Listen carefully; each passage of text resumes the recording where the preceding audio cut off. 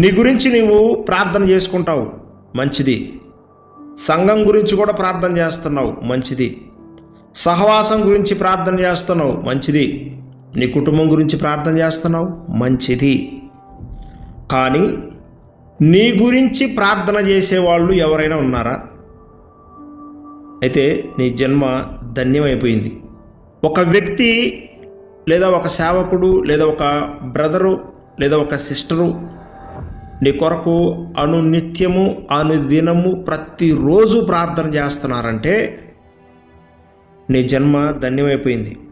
ఎందుకంటే అలా ప్రార్థన ప్రతిరోజు నీ తరపున విజ్ఞాపన చేసేవాళ్ళు ఉండటం వల్ల నీ జీవితంలో నువ్వు రెండు విషయాల్లో మేలులు పొందుకుంటున్నావు.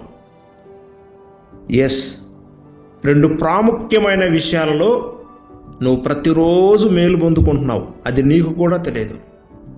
నెంబర్ వన్ నీవు పోషించబడుతున్నావు.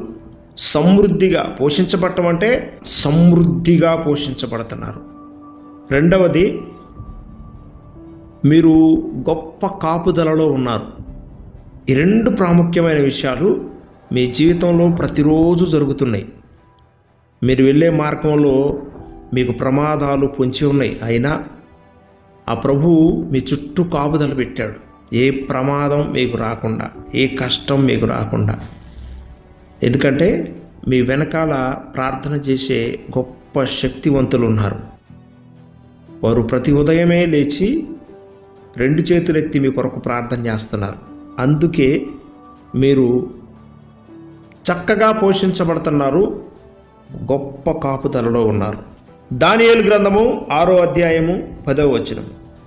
ఇట్టి శాసనము సంతకము చేయబడినని దానియేలు తెలుసుకొనినను అతడు తన ఇంటికి వెళ్ళి యథాప్రకారముగా అనుదినము ముమ్మారు మోకాళ్ళుని తన ఇంటి పైగది కిటికీలు ఎరుషలేము తట్టునకు తెరవబడి ఉండగా తన దేవునికి ప్రార్థన చేయుచు ఆయనను స్తుతించుచు వచ్చెను.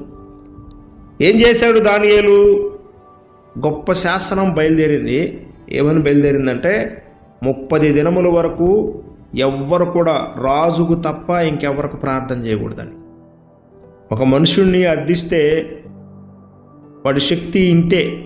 అతని దగ్గరికి వెళ్ళి అడిగితే శక్తి కొంచెమే తన సామర్థ్యం కొద్దిగే. కానీ దేవుడు మహాదేవుడు మహాబలము కలిగిన వాడు ఆయనకు ప్రార్థన చేస్తే తాను మాత్రమే కాదు. తనతో ఉన్నవారు కూడా సమృద్ధిగా పోషించబడతారు. ఆ విషయం దానియరుకు తెలుసు. ఇది ప్రతిదినము యథాప్రకారము చేసుకుంటూ వెళ్ళాడు దానియలు. ఒక్కరోజు చేసి ముగించేసి చాలు ప్రభా అని నిద్రపోలా. ఎవరి కోసం చేసావయ్యా దానియలు నువ్వంటే అంటే? తను చేసింది తన ప్రజల కోసం. ఆయన గొప్ప విజ్ఞాపనకర్త. దానియలు గొప్ప విజ్ఞాపనకర్త. తన ప్రజల కోసం యథాప్రకారముగా అనుదినము ముమ్మారు మోకాళ్ళుని తన ఇంటి పైకది కిటికీలు. ఎందుకయ్యా దానియేలు గారు? మీ ఇంటి కిటికీలు ఎరుసలేము తట్టునకు తెరిచి తలుపులు బార్లగా తెరిచి ఎరుషులేము తట్టు తిరిగి ఎందుకు ప్రార్థన చేస్తున్నావు? అని అడిగితే దానియల్ అంటాడు ఆ వైపు ఎరుషలేము ఉందట. ఎరుషలేము అంటే దేవుని యొక్క మందిరము ఉన్న స్థలం.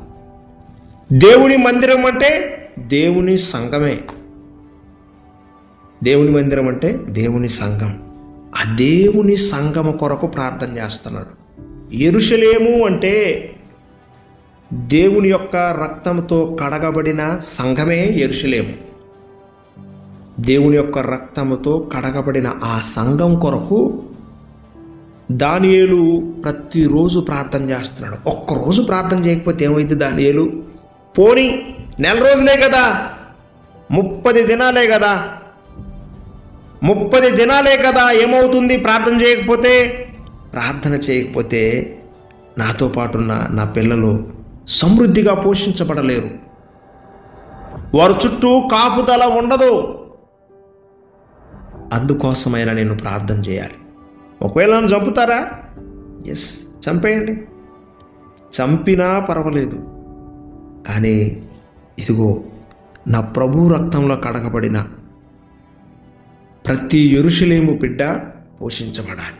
పోషించబడటం అంటే ఆషామాషగా కాదు సమృద్ధిగా పోషించబడాలి.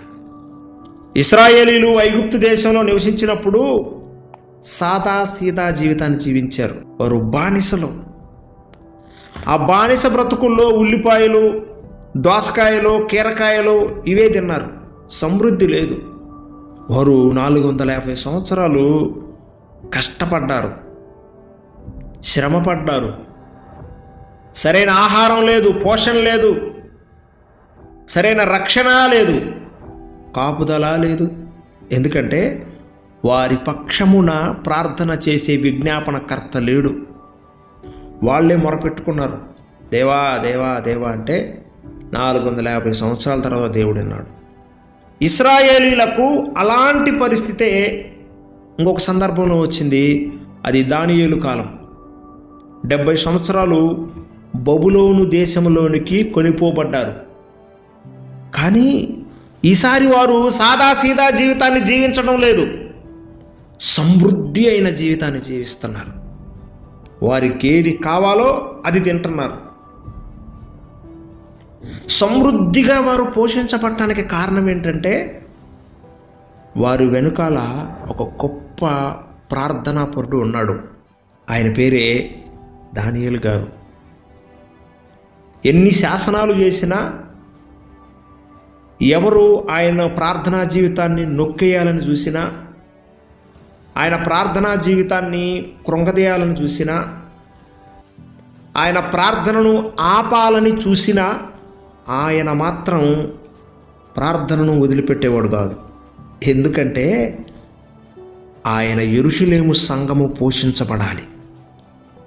ఆయన మాత్రమే కాదండి ఆయనతో పాటున్న ప్రతి ఒక్కరు కూడా.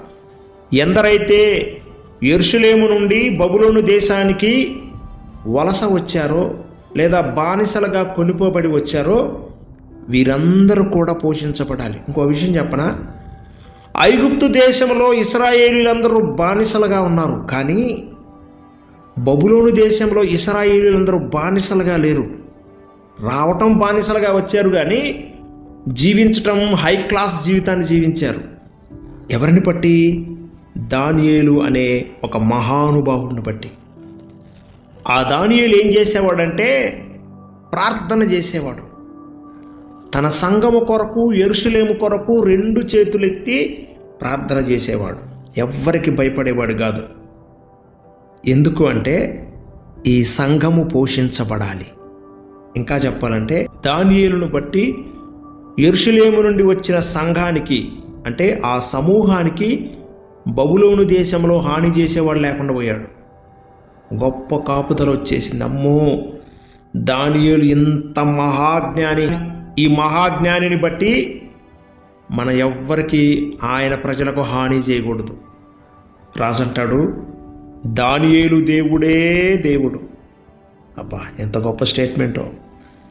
మరి దానియేలు దేవుడే దేవుడు అన్నప్పుడు దానియేలు ప్రజలను ఎవరైనా తాకగలరా ముట్టగలరా? దానియేలు దేవుడే దేవుడు అని చెప్పేసి ఒక శాసనాన్ని పుట్టించాడు. జాగ్రత్త సుమి దానియేలు దేవుణ్ణి దూషించడానికి కూడా లేదు మీకు. దూషించారా? తుత్తునీలుగా అయిపోతారు మీరు. దానియేలు దేవునికి మీరందరూ భయపడాలి. ఆయన సముఖమున మీరందరూ వణికిపోవాలి. ఆయనే జీవము కలిగిన దేవుడు.